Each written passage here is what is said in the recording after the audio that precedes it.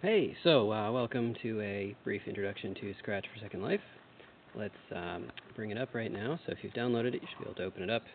Looks a little bit like this. Now let's try to get it uh, alongside our Second Life screen. So I'm just going to um, make that a little smaller and then bring my uh, Scratch for Second Life window up alongside of it.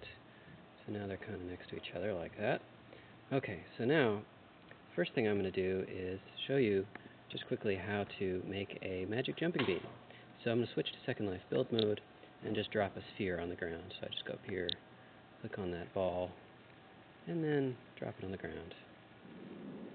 There we go. Okay, so now we switch over to Scratch for Second Life. And I'm going to say uh, when I tell the ball to jump, it'll jump. So first I'm going to need uh, this up block, and I'll just drag that out onto the scripting area I'll say go up three meters. I can just type right in there. And then uh, we'll have it go up and then go down three meters. So it's kind of a little jump up and down. And um, I have to decide when that's going to happen. So I need to go over to my control blocks. And I'll say when I receive. When I receive what? Well, I'll be able to type a chat message. And I'll say when I receive jump is when that's going to trigger.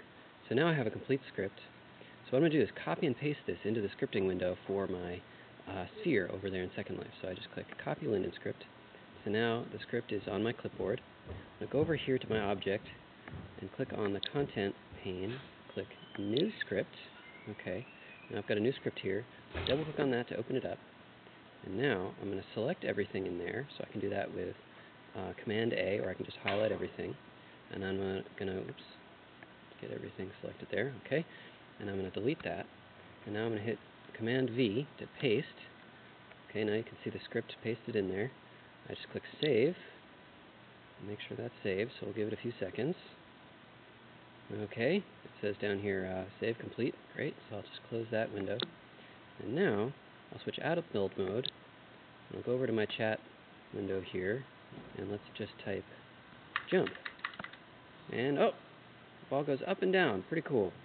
Uh, let's see that one more time. Nice.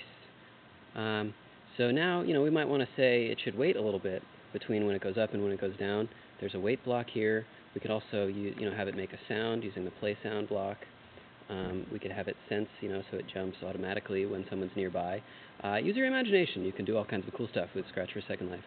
Um, well, that's all for now. Thanks.